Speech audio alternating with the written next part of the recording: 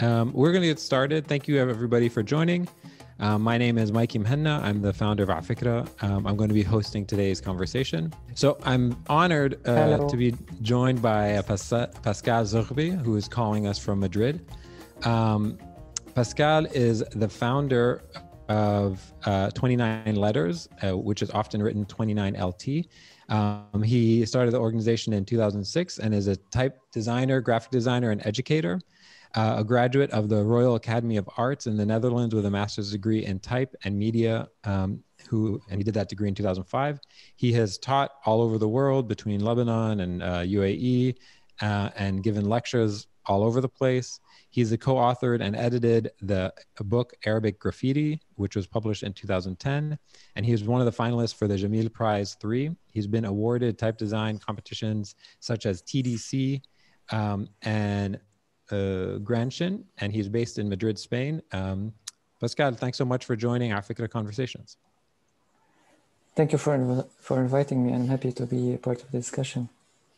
So, I guess the first question I'd like to ask is more biographical. Um, what was your entry point into type design specifically? Was were you interested in uh, the words themselves, or were you sort of an artsy kid as a kid?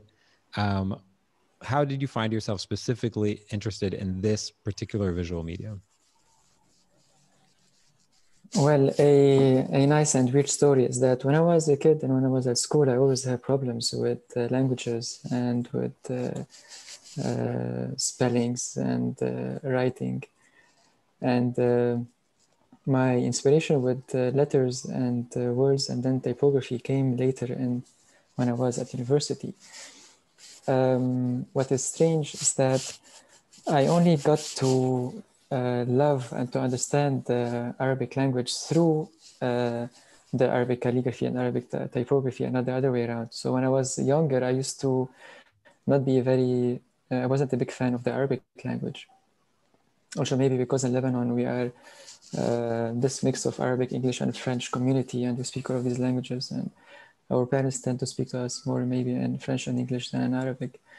But um, my entry point to typography was at university level. I was fascinated by the idea that how a certain letter can give such visual language or visual interpretation without adding any design element around it. And back then, I was a bit annoyed by the fact that there was not enough Arabic typefaces in the market as much as there is Latin ones. So I was not only me, like most of the designers back then, and there were always uh, this need for new fonts, new typography, new um, uh, experimentation and type design, and how to make contemporary typographical Arabic fonts and typography um, like inspiring from the old, making it in a new way, but not breaking away from the essence of it. And this is was my entry point. I was also taking some classes with uh, Saeed Akl. I was lucky that mm. he was still giving Arabic classes in NDU where I did my uh, bachelor.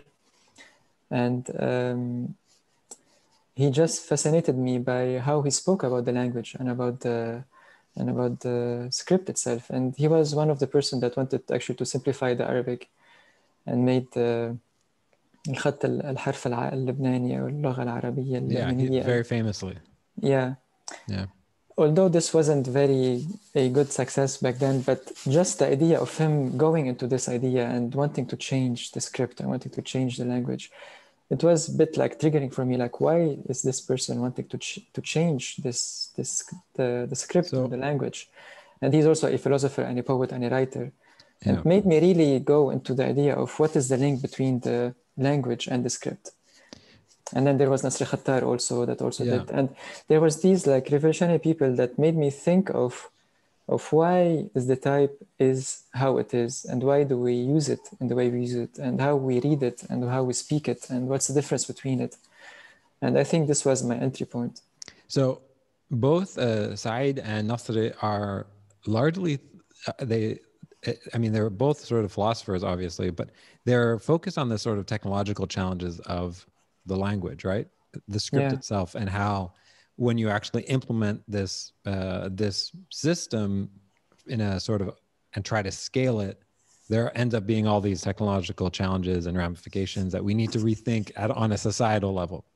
Is this what you were thinking of immediately? Like, man, how the hell are we going to build type? How, how are we going to build printing presses? And how are we going to build, you know, how are we going to code in Arabic? And were you drawn to those uh, dynamics or were you sort of just frustrated aesthetically? I'm a designer and I want better fonts. Th- you know? Which one was it?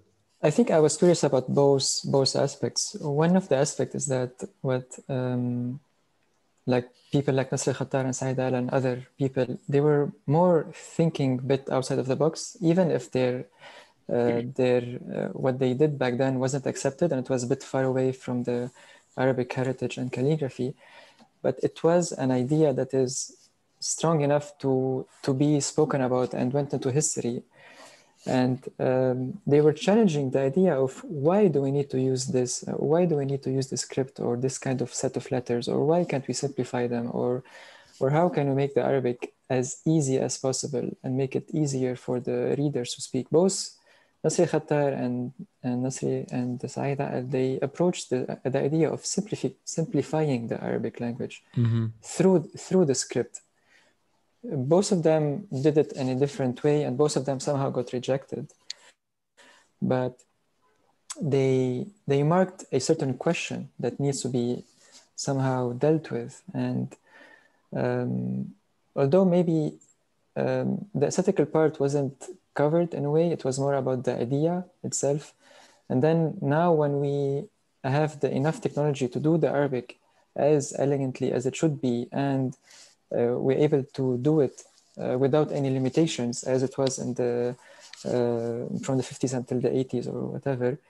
Um, so it, it, it, it, it only comes about the idea about how, how much we can make of a contemporary new uh, certain kind of fonts, but still they are linked to the historical element and to the cultural aspect of it and to the reading and uh, custom that Arab people need to be able to read and and use this this type, but at the yeah. same time to make it contemporary and new. And so this this was this was my this was the challenge that I wanted because all the all, all the Arabic fonts that were back then, they were stuck to a certain tradition or they were stuck to a certain technology and they didn't they weren't able to evolve and I wanted to evolve them. I wanted to to challenge like how much I can go further while staying in the in the certain limit.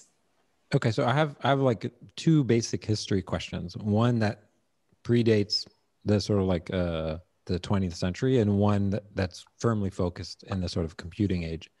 The first is the image that we're looking at right now, which I have first encountered yeah. on your on your blog, uh, you know, many years ago that uh, we talked about earlier, you said is actually from somebody else's book, and you can talk about that in a second. But this this sort of list of um, this list of I don't know if uh, typeface is the right word. Maybe it's not the right word, but this list Calligraph- of calligraphy, calligraphic styles. Yeah, this list of calligraphic styles is this something that you think of? Are these uh, specific sort of genres that you're constantly pulling from? That's the first question. And the second question is who designed the basic fonts that existed on my like 19 Windows 95 uh you know like word? Okay. Like were they designed here? Who designed them? Well, were there type foundries or like who did these yeah. who did the the basic fonts the basic arabic fonts? Who did them? Did they know okay, any let's of this start stuff?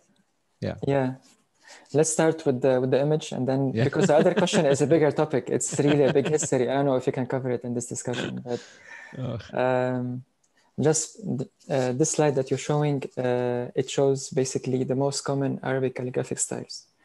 And this is coming directly from calligraphy. Um, it, it just shows how how diverse and how uh, flexible is the arabic calligraphy and the arabic script compared to other scripts. And this is actually a big uh, benefit we have as Arabic typographers. It shows the Nasikh, the Persian, the Ruka, and the Kufi. There's some missing stuff. And it, it's basically the, the, the, idea about uh, the different kind of uh, scripts that were developed during the Arab and later the Ottoman Empire, because they were these were the area where of these were developed. As as a type designer, these are our our our inspiration point. These are our our starting point. Like every time we need to start a new typeface, we need to decide: Are we going to base this typeface on the Nasakh or on the Ruka or on the uh, Kufi or whatever kind of script? We go back to the essence of this kind of calligraphy and then from that we build on it. And then at some point it changes. It becomes different it becomes new it becomes contemporary whatever. But if you really want to stay in line with the arabic script and keep it in line with the aesthetical values and heritage of the script somehow you always need to start from from these styles and you go you go further from it okay so always, I always say that my always my inspiration points are the old manuscripts and the calligraphic styles and uh, and the calligraphic. And that's also I always stress to everyone that needs to be a type designer that he needs to do a bit of calligraphy workshops, needs to read a lot about the different calligraphic styles, and need to understand the historical element of every one of them. Um, I don't know if I answered your question. Yeah, no, that, that, that makes a lot Moving, of sense. That yeah. makes a lot of sense, which connects to the second question, which I'm trying to imply is the, the second question Did they also reference these? Did they have a sense of historical context, or was it somebody in San Bernardino just writing, creating this stuff? No, the other section is that when we move to technology, yeah. um, it's a big it's a big history of technology. Like we start with the so at the beginning everything was handwritten, and yep. um, later uh, books were starting to be printed using the, the press and the movable type. And then later we came to the to the typewriter and the monotype machine and the linotype machine with the, with the press. And then we became to the primitive computers and then we became to the bit more advanced. And then later we became to the advanced OpenType features and other scripts. So what, what, what happened is that most of the previous technology, starting from the movable type to the typewriter to the early printing technologies, they are mostly based, they were mostly designed to serve the Latin script, like more like the Western languages. And they were designed to answer the needs of the Latin script, which didn't uh, cover all the needs of all the non-Latin scripts or the old scripts of the other parts of the world, like Arabic, Indian, Chinese, Japanese, mm-hmm. all the others the idea is simple because the Latin is is very somehow made to become detached. It's one letter per shape.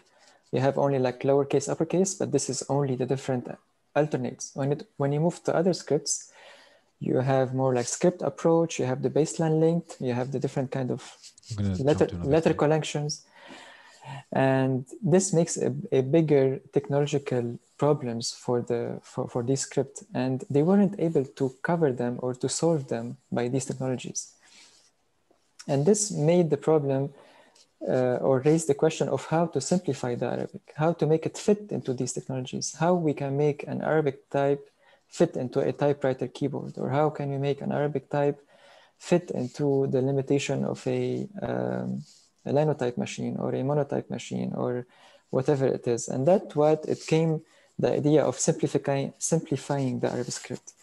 And this happened with the start of the typewriter, and then to the primitive computer, and then to the later computer. We, we tend to say that what, what was happening is that the most common were the Masdari Nasakh typefaces, meaning like all the baseline was on a straight baseline, not anymore fluent.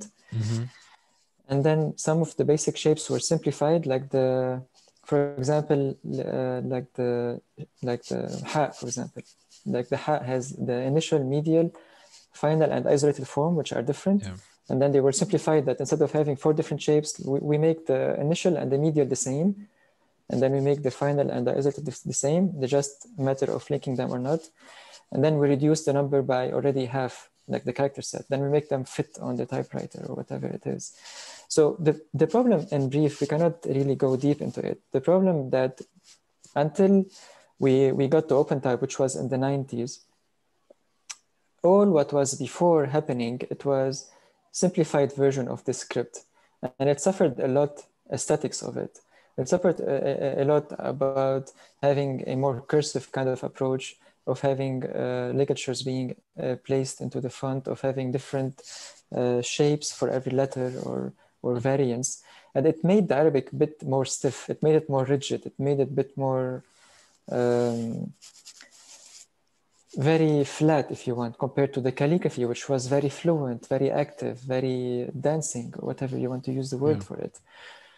And um, later, what we are experiencing now, or for the past maybe 15, 20 years, is that the technology at last catched, uh, caught, up with the needs of all the Arabic, uh, the word scripts beside Latin. And now we can have more control about the level of the um, calligraphic aspect or the typographical aspect. There's still, we still need more.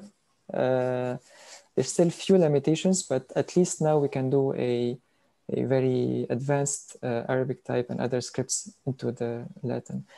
Uh, the idea of who were doing these fonts before, they were limited to ma basically manufacturers. So like um, the Linotype uh, company, they had the machines and they sold it with their own fonts that came with it, or the typewriter yeah. they made, or or IBM or Kaza. They, they, so it was the the type foundries back then.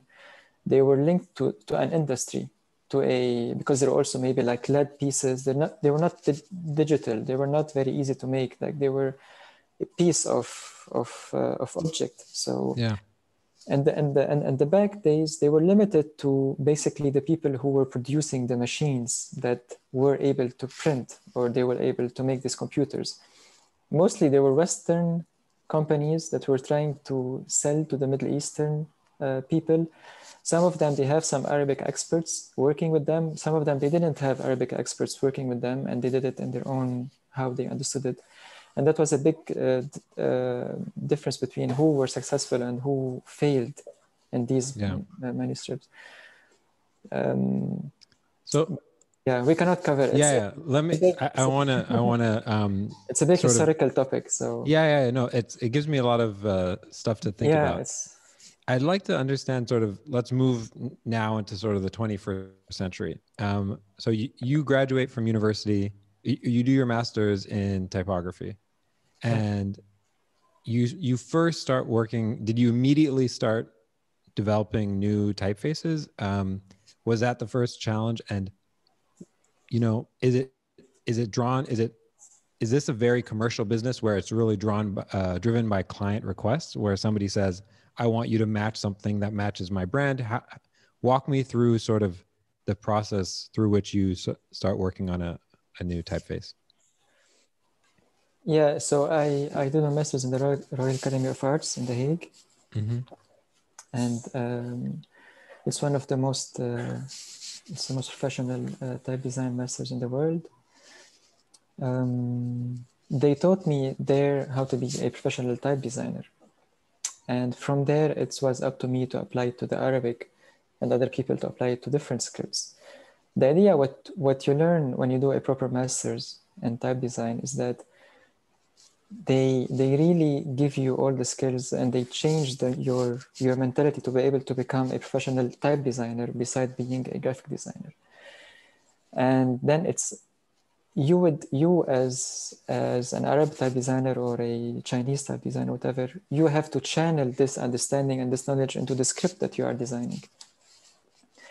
And i was lucky that when i was doing my masters back then there was still a big demand uh, for new Arabic typefaces. There was not enough yet uh, like professional type designers, Arab type designers in the world. There were a handful back then. Um, and yeah, directly after I graduated, I started doing fonts. I I I would I would say that the ones that I did in the beginning I'm not anymore very proud of because I was still a bit learning and going through until now I'm still learning about yeah how to do Arabic fonts. It's really crazy this but, this, uh, this career and this but directly yeah. from the from the start I I was I I, I I was doing commission typefaces for for companies in the, in the Middle East that needed uh, some custom typefaces or bespoke typefaces for themselves. At the same time, I started doing my own uh, personal projects and typefaces and publishing them personally. so I was also lucky to work with organizations like uh, like Khatt, they uh, to do the projects like typographic matchmaking and others. I was lucky to collaborate with other uh, colleagues that work in branding agency, branding agencies, yeah. and advertising agencies to do bespoke typefaces. And it was always about teaming up with other experts, uh, either either design branding experts or uh, typography experts, uh, or different kind of like Latin Arabic. Uh, like I worked with uh, people in Switzerland or people in Germany and other people in Europe that needed an Arabic expert to work with their own uh, typefaces or to do an Arabic for their own funds. So, and it was always a collaboration, either with a with a client or with a typographer, or and it's always the challenge of how to create a new Arabic that matches an Arab another Latin, or how to create an Arabic and a Latin from scratch by itself, which is a different uh, process. Different challenge, yeah. This is the different challenge. So, or how to answer a branding identity of a I want to I want to back up for a second um, to something that you said earlier. You said I'm not particularly proud, or maybe I'm not like entirely proud of some of your earlier work. Yeah. Um, so walk me through as somebody who doesn't know what they're talking about. How what would make you cringe about your earlier work? Like, how do you identify it? What are the litmus tests? What are the things that you look for? Um, yeah. in, in terms of good type design when you're thinking about specifically about the Arabic script? Like, what yeah, were you so bad at earlier? What have you learned? Like, yeah, what is what is amazing about the Arabic calligraphy is that, and the Arabic typography is that it's like, the more you know about it, you, the more you need to learn about it. it Yeah. There's not a limit that you say, Like okay, jazz. now, yeah, it's like there's no limit like you say okay now i'm i'm the master of arabic typography and i'm i know all the different arabic calligraphy and i can now there's no way of saying that. Even now i'm still learning in a way. And every time i do a new typeface i somehow discover new stuff that i didn't maybe knew before about it. And what i lacked in my few years like after after i graduated i was i knew i knew all the skills of the being a professional type designer but I have to say, I didn't know all the different aspects of the Arabic calligraphy back then and the Arabic typographical aspects. And I lacked a bit of, like, it took me maybe like three, four years after I graduated to really understand all the different uh, styles and behavior understanding of the, of the script. Also, I came back to Beirut and I was working a bit with calligraphers there, Kaza, and I kept on learning a bit about Arabic calligraphy before I, I felt like I'm mastering it. And until I got to this point, I already designed maybe like three, four, five different typefaces in the meantime in these years where I felt I was still learning. And now looking back at them, I see that maybe some of them they lacked maybe a bit of understanding of the Arabic contrast or the Arabic pen structure, or maybe I would have drawn this letter in a different way than than how it is drawn or whatever Yeah. you know it's like it's like when you um, it's like when you when you when you design something as a as a as a as a kid and you look at it and you see like wow it's amazing like I, I did that i'm so proud of it I'm, I'm just amazed by it but then when you've been grown up and you look at it like what i was happy about this it looks like crap for me now it's, it doesn't Yeah. work like and then you have to more like refine it and draw it and and So- uh, Are there? Okay, you're, you're sparking all these other questions. So, uh, Yeah. one question is: there's this there's this like tradition of um, hand hand calligraphers, right? Hand hand drawn calligraphy. Yeah. Is there is there friction and conflict between the the world of hand drawn calligraphers and people who are developing new typefaces? in the digital world and digital world where they're saying like you guys are missing the point you're getting this all wrong you're moving us in a direction that is like disgusting you're is there is there friction there is i wouldn't say there's a fiction. I would say there's Mm. different kind of schools in the type design world and the typography world. Um, some of them some of the schools they say that okay we should be as close as possible to the arabic calligraphy and we should be as possibly uh, true to the to the arabic pen and to arabic calligraphy. And some like the most extreme of that is that we should be very experimental. We, we should break away from the calligraphic rules. We should do whatever we want to do. And there's the in between, or maybe like all the schools that come in between these two extremes. It is okay. Like we are going to inspire from the calligraphy. We're going to learn from the calligraphy, but we're going to reinterpret it as a new typographical element. Um, and the people who are working in the the two extremes, they have problem with the people in the in between and the people in between they see the extremes as too much extreme. Like you don't be you don't need to be too traditional or you don't have to be too experimental and break away from everything. And these different schools they might have uh, maybe clash sometimes. Or maybe yeah. it's it's good to be seen that are different diverse ways of seeing stuff. And it's good for the arabic type uh, type community or the industry to have all of these options. And the people choose what they want to they they want to be more traditional or they want to be more more uh, crazy and experimental or they want to be more contemporary with a hint of of calligraphy um, me me personally i place myself somewhere in the middle that i am um, I'm all my projects, all my typefaces are truly inspired by by by uh, calligraphy, but yeah. none of them is uh, is calligraphic. Uh, all of them, they are this new contemporary typefaces that that stem from calligraphy, that inspire from calligraphy, that learn from calligraphy, but they are not calligraphy. And for me, calligraphy is calligraphy, and typography is typography.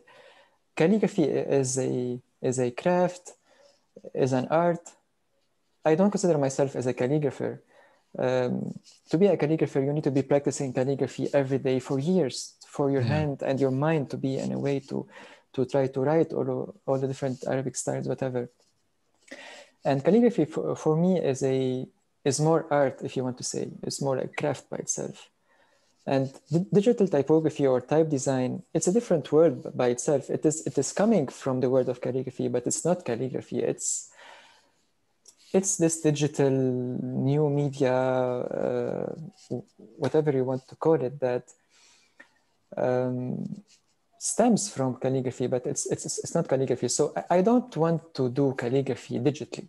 This is, this is not my job as, yeah. a, as a contemporary type designer. I don't want to reproduce the same uh, calligraphy that is drawn by a calligrapher by a pen on a paper digitally yeah. on the computer. This is not my this is my this is not my job as a as a digital type designer. I want to create digitally new typography, having new spirit, a new feel, new ideas, challenges, typographical elements, all of this stuff. So the people who are uh, into the traditional uh, calligraphy, uh, they might see uh, that the typefaces that we are creating maybe a bit breaking away from it or maybe not to the to the level of it. And some of them not so it depends. So we have different opinions different schools different directions. But for me now what i see is that it's not a conflict. I, I see it as a diverse yeah. uh, as an everyone is free to to think and to do whatever they want. And we have to respect each each other's opinion and we have to accept that there's a, there's a need for all of these different digital versions of typography and calligraphy. Yeah. what is fun about it. So as as a sort of technology uh, has a, uh, uh, the digital technology has sort of powered some of this work. Yeah. Um, and in some ways it's like sort of democratized as technology can do sometimes it's democratized that work. And there may be sort of new schools that emerge, right? New yeah. school uh, visual styles. Are those visual styles geographically geographically uh, derived? Like, is there a typographical style that's emerging from, you know, Morocco and Algeria that's very different than the style that's emerging from Kuwait and Saudi Arabia, or is it just mm. um, people sort of drawing artistic um, inspiration and sort of like are there styles that are emerging and is there any variety geographically that that's going on? Uh, interesting and so your question is based on different nations? Like people from different nations are doing different styles and not people yeah. that are basing their their typefaces on different calligraphic styles? Yeah i wonder because like um, if you look at like the artwork for example not that this is necessarily uh, like the same as yeah. a painting or stuff but if you look at the artwork that comes out of pl- places it's inspired and it's affected by the location and sort of the local culture is that have we seen sort of styles that this emerge? type design yeah, and type design. Actually, is that a ridiculous notion? that might be ridiculous. um, to be honest, I never saw it like this or never thought of it like this. For for me, it was always that uh, all the different type designers now working in the in this industry, they are relying on different uh, styles that they rely on or different schools, as we spoke about, like the mm-hmm. traditional mm-hmm. or the medium. But you're like like based on nations or geographically speaking i never saw it like this because it's at the end all all of us in the arab nation we use somehow the same we rely on the same arabic script arabic language so a type designer in beirut or type designer in dubai or type designer in maghreb can all of them they have all of the styles to inspire from and they are inspiring from it. Maybe it's some of them they might inspire from certain research that is based on their own nation or their own heritage and they can inspire to create a certain typeface from it. Uh, for example a person in, in in beirut can inspire from a certain calligraphic style that was done maybe uh, during the uh, cinema industry, uh, mm-hmm. calligraphic of the post, and he can inspire from that that didn't maybe exist in Dubai, or for example, another person in Cairo can do that, or Maghreb, or whatever. But I think it's it's based basically it, based on the research point that you want to start from, and not maybe based on the certain uh, nation that you're living in. It's always about what you are inspiring from, what are you researching about to come up with a certain typeface. Yeah. I can okay. think now as an as an as an example. Uh, now me living in Spain actually, because before I was living in Beirut, then a bit of in Dubai, and now now in Madrid. And when I arrived to to Madrid, I was amazed by the uh, the uh, the Arabic and the Spanish culture that that exists here in Spain. And actually, the last typeface that we we published uh, last week it's called Ocaso. It is inspired by the Aljamiado manuscripts, which are the scripts that were written by um, uh, uh, the, the scripts.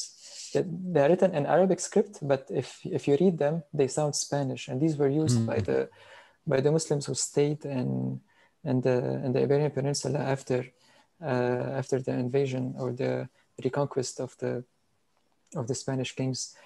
And from that, I inspired to make a new uh, typeface. I was looking at these manuscripts and I was amazed by this uh, very unique uh, style that they had that I never saw before. And maybe if I wasn't living in Madrid and I didn't know about this uh, topic, I wouldn't have researched it. So yeah. So maybe this is maybe part of. Yeah. So I have two final quick questions, and then I want to open up to everybody. The first one is: Are you aware of anyone who is trying to continue the work of Saeed Akl? To think about that. Is is are there any like philosophical descendants? Specifically about Saeed and his Lebanese uh, type. I don't think there is. He Saeed Akl, he he was more a philosopher and a linguist and a, yeah. and a literature guy. He was what what he was saying is that we should stop using the Arabic script and we should move to the Latin script and we add some extra shapes and actually he was aiming for like a word script that a one kind of script with all different unified. uh, unified shapes yeah. that he he was saying that every phonetical sound will be represented by only one shape and one shape only. And with these shapes if we cover all the phonetics of all the languages of the world then we can write all the languages of the world with this one kind of space what what he what he missed, I think, he missed the idea of the heritage and culture and and the ideas, and that's why he failed, uh, or it wasn't successful. It was rejected in Lebanon and all over the world.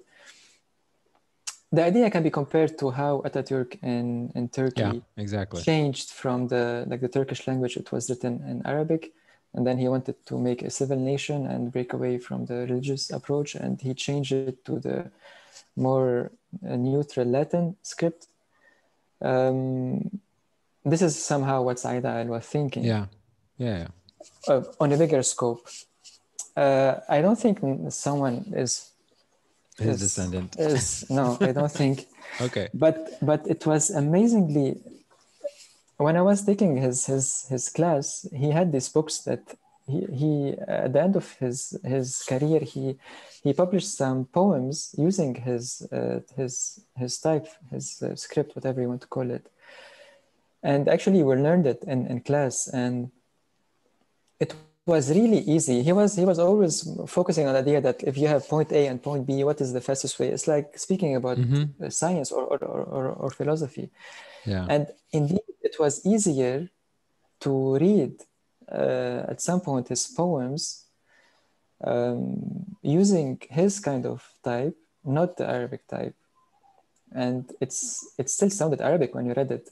It's the idea yeah. of this. It's, it's a new against, alphabet. Yeah. It again goes to, to the to the idea of the uh, of the Turkish and the Persian and also the mm-hmm. aljamiado. The idea is that what kind so so you have the language and the sounds and you have the script. And then what kind of shapes you want to give to these sounds? And what is the easiest for people to learn? This was what he was thinking about. It was how to translate a certain sound like the letter a. It's like it exists by itself as a as an entity without even writing it anywhere. It's like it's like a spirit. It's like a soul. And then you give it a form. You put it in, mm-hmm. a, in the letter a or the letter Aleph or whatever. Yeah. And he was questioning this, like, why do we need to do that, or why do we need to do it in this way? Why don't we do it in? Because it's it's it's a mix of philosophy and literature and yeah. typography. It's like it's a crazy word. It's, like, it's amazing.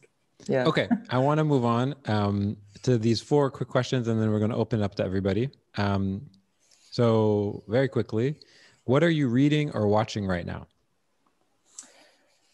Um, well, since I'm in Spain, I'm now learning the Spanish language since three years, and I was interested in trying to read some some more Spanish literature and Spanish books. So, because I'm still in a medium level of Spanish, I'm reading some Spanish comics uh, that cool. are funny and easy to read to practice my Spanish.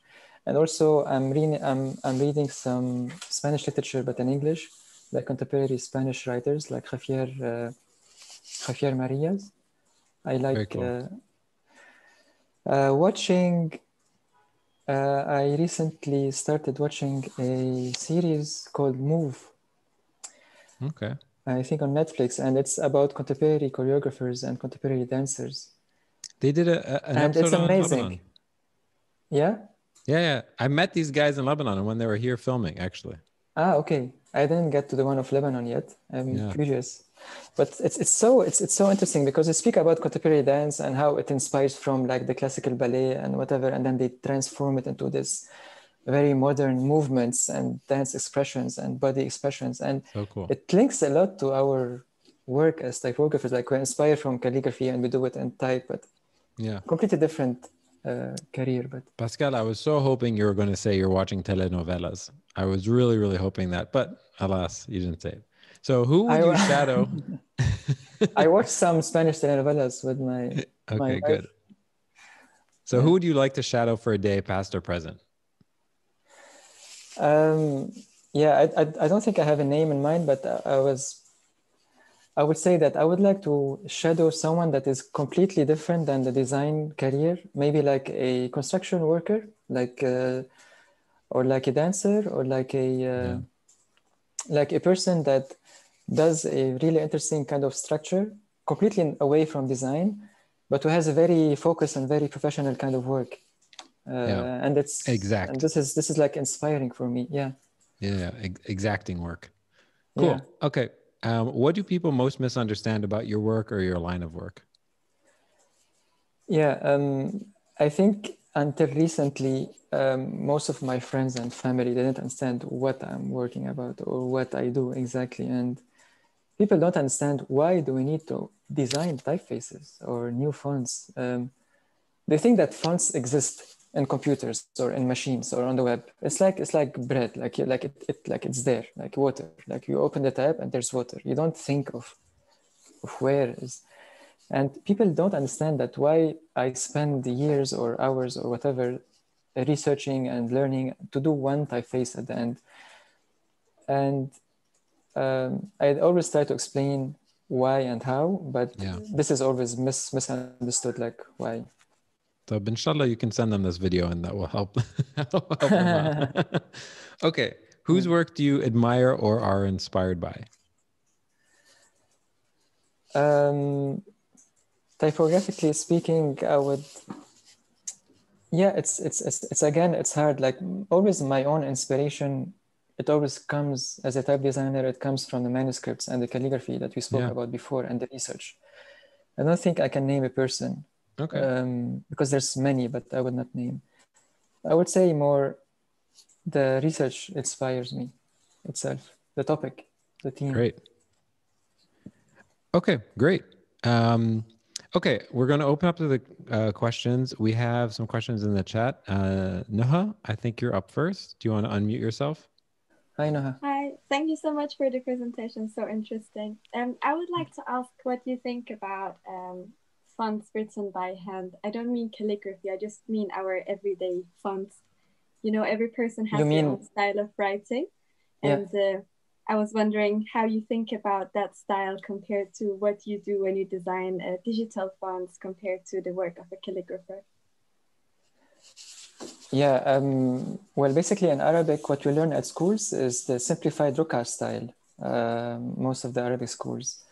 Um, and it's the more fast uh, the the fast handwriting. Well basically when when we write by by hand we're always searching again we go to the philosophical aspect of it like we're always searching to the fastest and the quickest way to write what we need to write.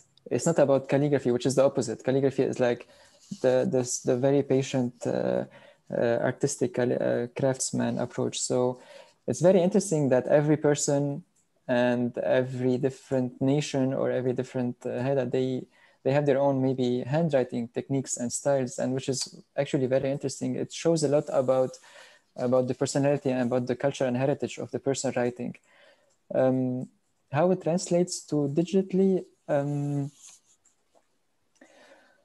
it can inspire you to do a typeface out of it but it's very hard. It's it's again it's the same topic as calligraphy. It's very hard to do a digital typeface that really mimics or looks like a handwritten spontaneous type. You have to add a lot of uh, alternates and ligatures and technology into the font that at some points it makes it a bit uh, crazy to, to work on it and very heavy and very it's it's very hard to mimic the handwriting. It's uh, I would say handwriting is handwriting. Calligraphy is calligraphy and typography is typography. There are these three different words that but um, there's also the, the science of studying uh, handwriting and psychology of it and analyzing characters. And so it's a very interesting world. Okay.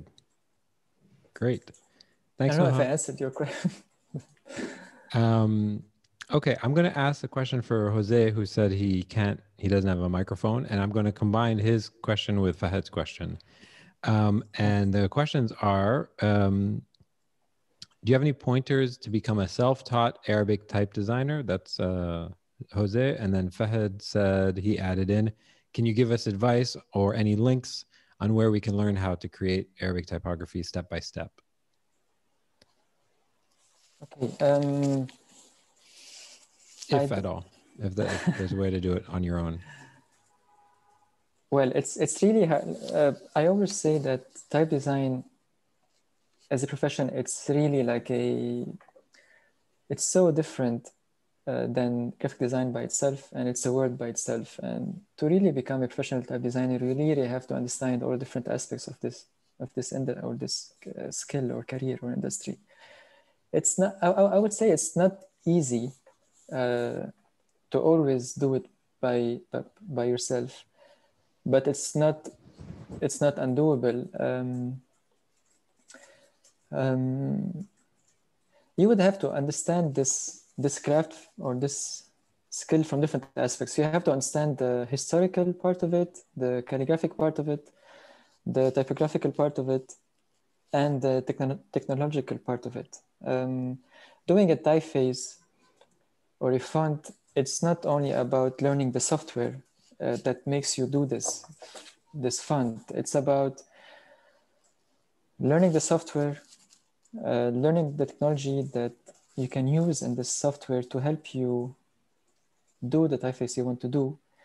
And before even going to the software and learning these technologies, you have to understand the script that you are designing. And you have to understand the autonomy of the script. And you have to understand how you can translate it from being traditional to contemporary without breaking from this beauty uh, culture heritage. So it's a it's a it's a mix of of understanding calligraphy practicing calligraphy doing arabic uh, calligraphy workshops or any other script workshops to understand the script that you want to design. Next you have to find really interesting research topic to research about to inspire from. Third you have to really uh, decide which uh, software application you want to work on and really know all the tricks of it.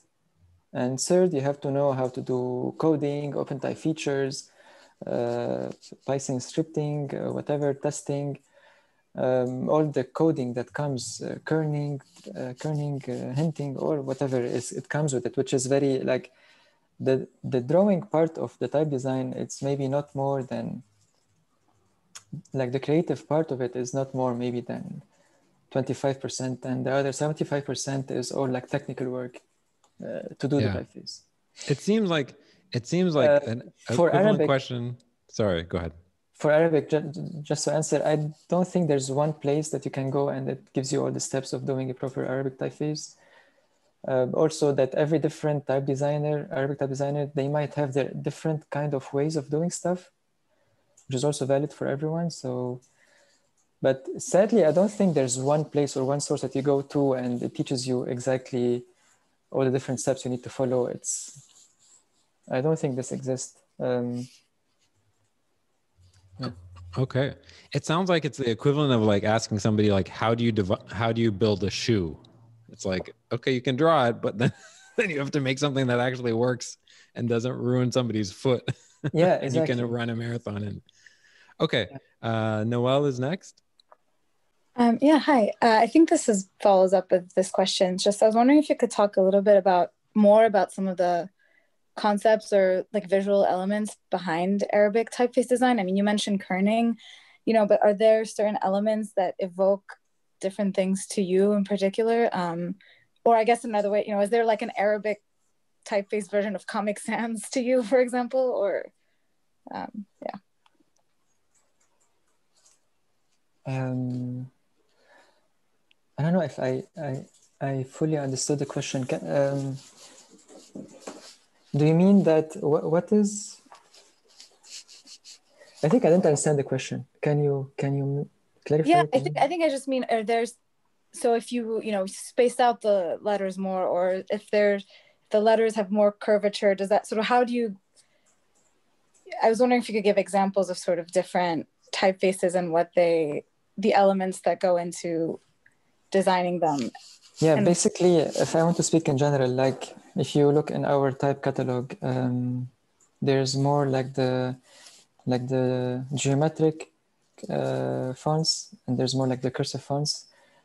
Uh, i would say in general that the more the geometric ones they need mm, uh, less somehow uh, advanced um, uh, typographical work than the cursive ones. The more cursive you go the more you need to do extra ligatures, uh, extra alternates, uh, worry more about uh, spacing and kerning and uh, etc. and OpenType features to make stuff work properly. The more geometric the goes, more simple it goes, and the less typographical elements it goes. In in Arabic, what we need to worry about is that uh, what are the different shapes for each letter you want to put in the font or not? What are the extra ligatures you want to add? Uh, to this font or not.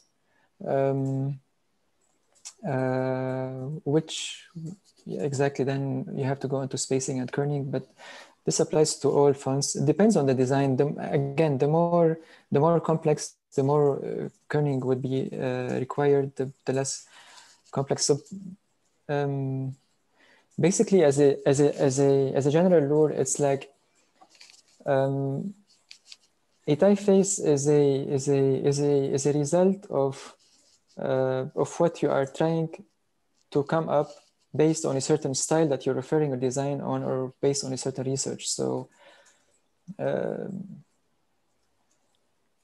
a, a typeface that, that, that is inspired from from handwriting will be more complex than a typeface that is inspired from a square Kufi, for example. And okay, great. Um, I actually think this is so we're close to the hour. Um, I wanted to make one final comment before I thank Pascal, which is your website, the 29 letters website, is a coding masterpiece. And yeah. I highly recommend anyone to go on this website, um, 29lt.com. It shows some of the things that um, Noel is asking about in terms of the dynamics, whether it's uh, size or weighting. Um, and in a strict strike uh, sort of strike of genius it's like you can type in whatever you want in each font. Yeah. Um, which is please walk me through how the hell you did how you did this. The website actually it, it was a big challenge. It, it, was more than two years of, of work. After design was done it was it like two years of work and consultancy between web developers and experts in ux and ui people uh, from Holland and from Madrid and from Lebanon. Uh, the challenge was that to make the, the website fully dynamic and to support all the different scripts, Arabic, Latin, Cyrillic, Greek, and others, uh, to make it accept variable font and static fonts. So like variable fonts because they, they have different accesses and different variations.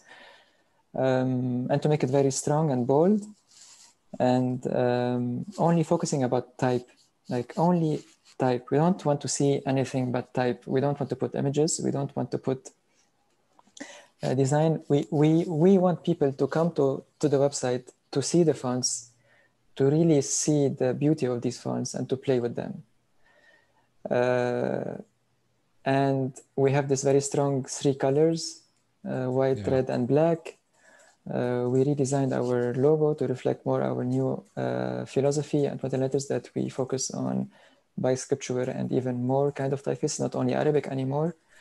Um, the, the, the web developer was going crazy at some point. He was going to kill me at some point, trying to make all the fonts work and all the features work. Uh, it's true, it was using HTML5 and bit of Java in some places, but it, it was a big challenge for, for the web developer and for yeah. the that's incredible. But I'm happy that you see it as a.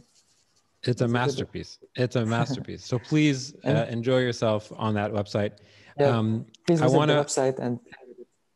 Yeah, I want to wrap up. Um, I've pasted our feedback link into the chat. Please uh, take a look at that. Um, give us feedback. Answer that one question. Was this good?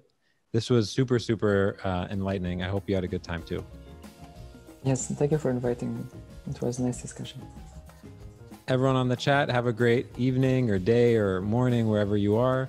And if you want to join the upcoming events, go to afikra.com slash RSVP. We got an event on Saturday and then next week, Tuesday, Thursday, and rinse and repeat. Okay, everyone, be well. Talk to you soon.